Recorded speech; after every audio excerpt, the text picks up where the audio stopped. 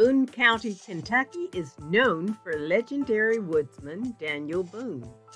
Now add Henrietta Wood, born there in 1819.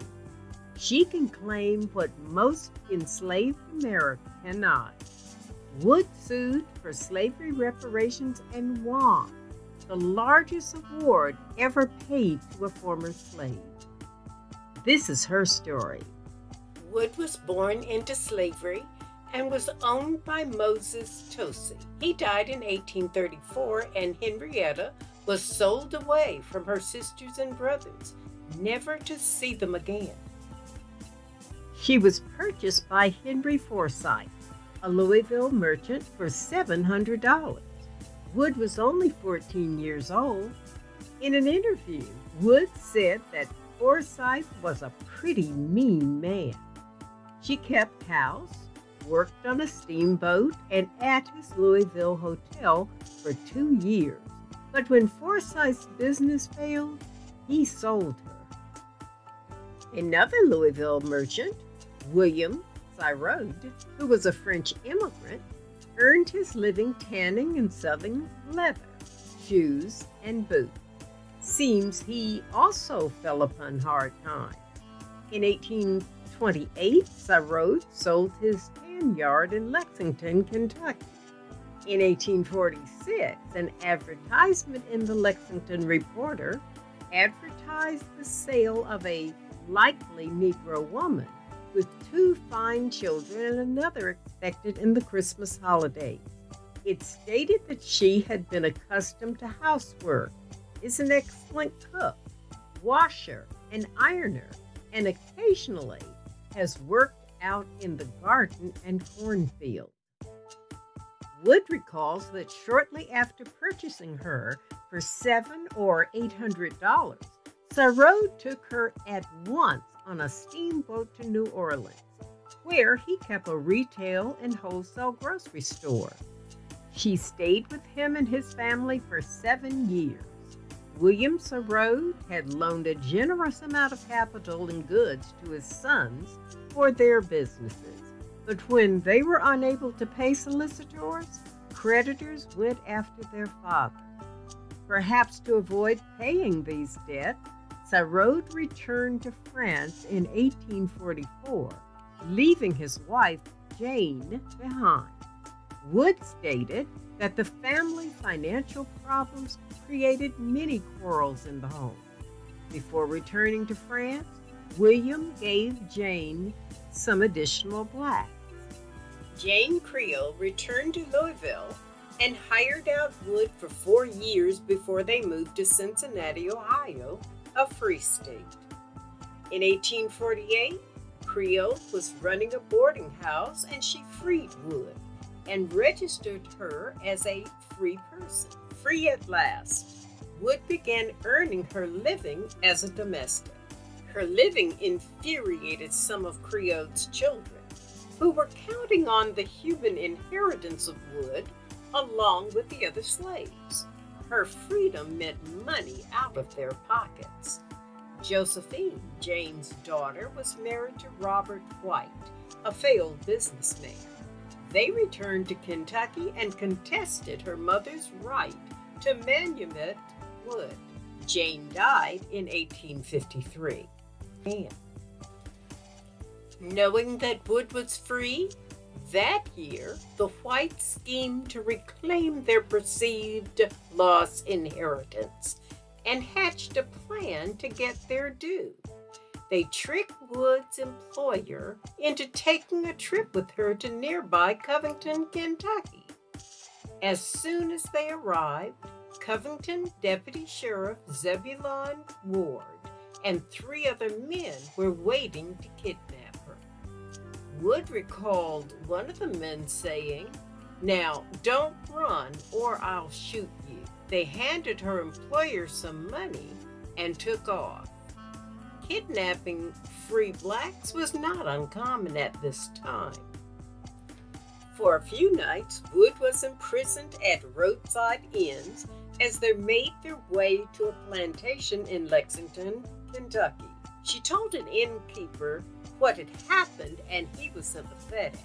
He filed a lawsuit on her behalf declaring that she was a free woman. But there was no documented proof. Her freedom papers had been burned in a courthouse fire in Cincinnati in 1849. Under the terms of the Fugitive Slave Act of 1850, Wood had no defense and was not entitled to a trial or to testify on her own behalf. She was held in a slave pen in Lexington for a year, charged with being a runaway slave.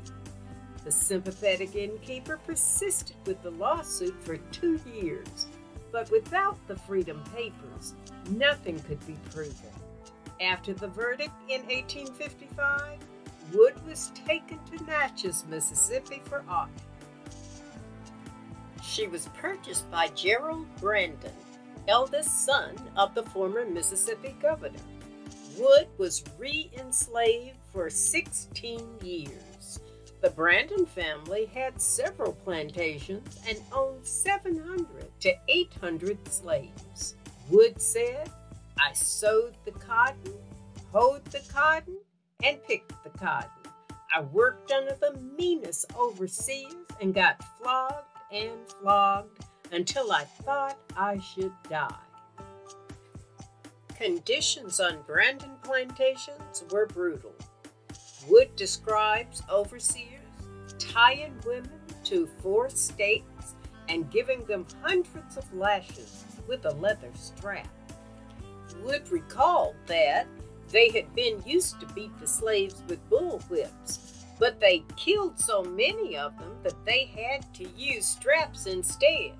If you did not walk fast enough to please the overseer, or picked quite enough cotton, or even looked away from your work, you got whipped. Here, Wood became pregnant and gave birth to her son Arthur. At the end of the Civil War, she should have been free. However, instead of liberation, Brandon ordered 300 slaves to march 400 miles to Texas. They continued to work in cotton fields. Despite Juneteenth liberating slaves in Texas, it wasn't until she returned to Mississippi with Brandon in 1866 that Wood gained her freedom. Wood signed a contract with Brandon's family to work for $10 a month. She never saw a dime of pay and decided to seek life with her son elsewhere. In 1869, Wood returned to Cincinnati, Ohio, but she was not satisfied.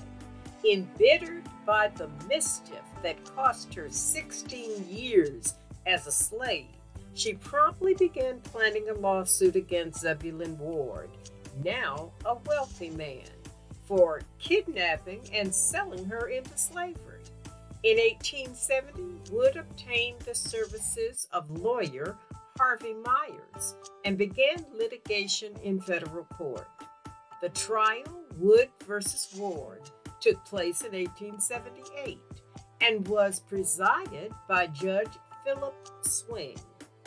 They asked for $20,000 in retribution.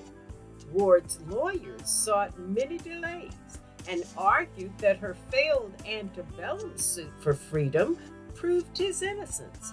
They also argued too much time had passed for legal consideration, which was a recurring argument against reparations. The all white jury awarded her $2,500, which she received in 1879 after much resistance from Ward. Though the amount seems small by today's standards, it is equal to $65,000 in 2019 dollars and remains the largest award ever given for slavery reparations. Wood's successful trial did not begin a trend of similar reparations cases, and though it received national press coverage at the time, was largely forgotten in the following years. Wood's case was written about in the media. Lafcadio Hearn wrote of it in the Cincinnati commercial. The New York Tribune acknowledged that though a landmark case and award, don't expect this to spark other cases. They wrote, not so many complications of a legal nature arise out of the old relations of master and slave as might have been expected. Judge Philip Swing, who presided over Wood's case, instructed the jurors to consider slavery a thing of the past. He said, Fortunately for this country, the institution of slavery has passed away, and we should not bring our particular issues of the legality or morality of an institution of that character into court or the jury box. Swing was implying that paying out large monetary reparations wouldn't be fair to slave owners who regretted buying and selling human beings, but the past is the past. After the victory, Wood moved to Chicago to live with her son, Arthur H. Sims. Now, the lesson about what reparations can do. Wood used her restitution money to finance Arthur's education at Union College of Law, now Northwestern University, Pritzker School of Law. He was one of the first black graduates and enjoyed a long career as a lawyer in Chicago during the first half of the 20th century. The costs and awards of slavery. Wood received $2,500 as compensation for more than 16 years of unpaid labor due to her kidnapping. One of the men who spearheaded this atrocity, General Zebulon Ward, became very wealthy after slavery. Perhaps he received reparations for his enslaved he had to release. But while the former enslaved did not get 40 acres or a mule, Ward worked as a steamboat clerk, then owner, was promoted from deputy sheriff in Covington to sheriff.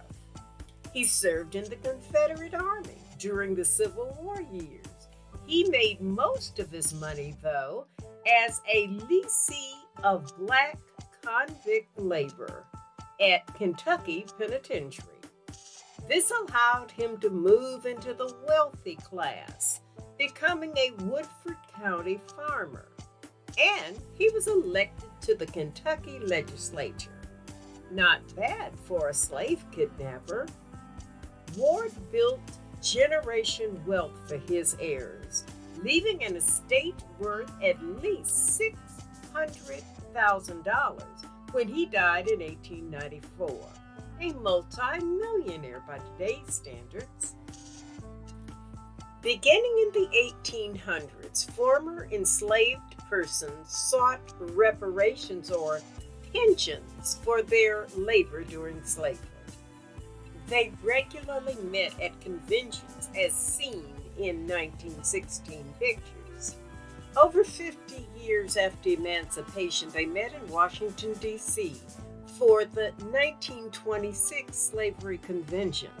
They again petitioned the federal government for slavery pensions. It was denied again. Ward never admitted fault for Wood's re enslavement. On the memorandum line of the check, he wrote, quote, to pay for the last Negro that will ever be paid for in this country, end quote. Perhaps he is sadly right. According to economic anthropologist Jason Hickel, the United States extracted $97 trillion of value from the enslaved people.